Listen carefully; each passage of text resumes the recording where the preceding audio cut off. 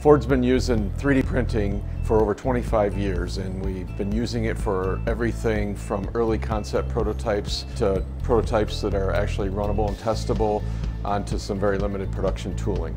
We're the first automotive OEMs to work with Carbon 3D. What we're really looking for in terms of additive manufacturing here at Ford is to be able to produce directly functional parts to use in our vehicles. What we're doing here with Carbon 3D is that we're looking at the materials and actually helping to create engineering materials that would have those properties. In the typical SLA process, it's a very layered method where a layer of resin is put down and cured, um, one layer at a time. After the cure, uh, the next layer is put down.